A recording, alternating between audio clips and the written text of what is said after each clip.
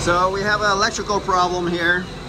There's two circuits. And as you could see, a hint of a problem right here. Look at what does your eyes catch? See that one burnt one right there? This is on circuit number one. This is on circuit number two. They've blown both circuits. First, they blew out one circuit. Then they took the dehumidifier. These have motors in them. Then they took the motors that were on one circuit and you're supposed to only have one motor on one circuit sharing with nothing with absolutely nothing. But they have one motor, two motors, three motors, and they were splitting it up between two circuits that were also on with fans and uh, dehumidifiers and other stuff. So then they put them onto the other circuit and they blew out the other circuit. So we are looking for, and they don't know where any fuses are and why things are blowing out.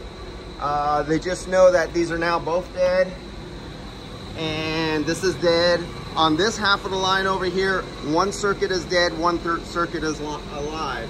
But his clue was he told me he threw the three dehumidifiers on a circuit all together and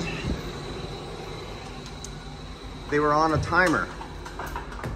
These timers are not meant to take the load of motor, especially multiple loaders. So now you're running all the current through a timer and so that's my suspicion. So I'm taking this apart right now. We're gonna look to see if my hunch is correct or not, but we'll find out. Okay, next video.